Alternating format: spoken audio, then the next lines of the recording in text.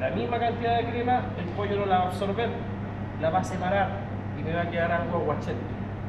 Proteína con proteína se van a ir juntando, pero siempre y cuando la proteína esté bien molida, porque si no va a quedar como agua. La, la crema no va a ser, el pollo no va a ser capaz de absorber la crema, por eso debe quedar una pasta.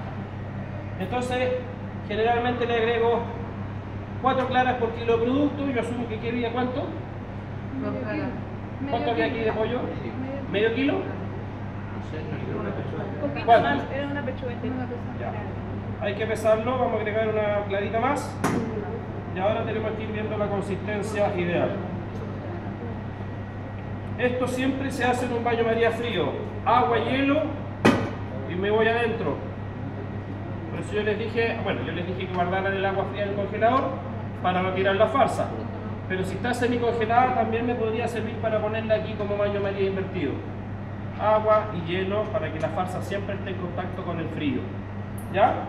¿Estamos? Ahora lo importante de esto es ir viendo la consistencia de la farsa, la textura final que esta debe tener.